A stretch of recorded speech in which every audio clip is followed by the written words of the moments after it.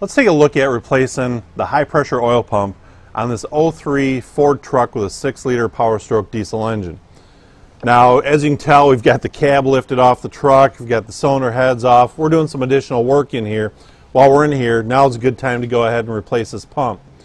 Now, otherwise, if the cab was on, you'd be removing the turbo and probably removing the exhaust Y pipe here in order to access this particular housing which covers up the high pressure pump.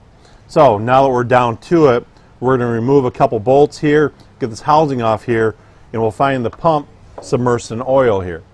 It's gear driven off the back of the engine here, so we're going to go in there, suck the oil out, clean up the surfaces, put some new O-rings in, and put this new pump in place. While we're in there, we're also going to replace the IPR and the ICP. Be ashamed not to do those while we've got them in the open here. We'll button up the job and we'll resume what we were doing originally. So let's get this cover off of here.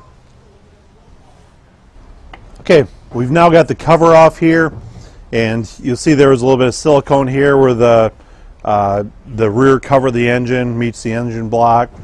So we're going to now clean this up. We're going to replace the gasket in here. We can see the old pump in here. We've got to pull the, the high pressure line off, swing that out of the way want to make sure that we don't bend this in any way, shape, or form. Otherwise, that might result in a high pressure leak. So we want to be very careful, put new O-rings and seals on this. We'll install our new uh, high pressure pump.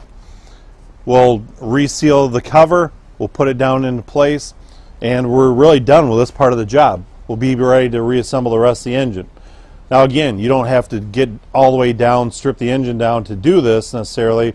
But in this case, we were in doing other work, decided while we're here, let's replace the pump.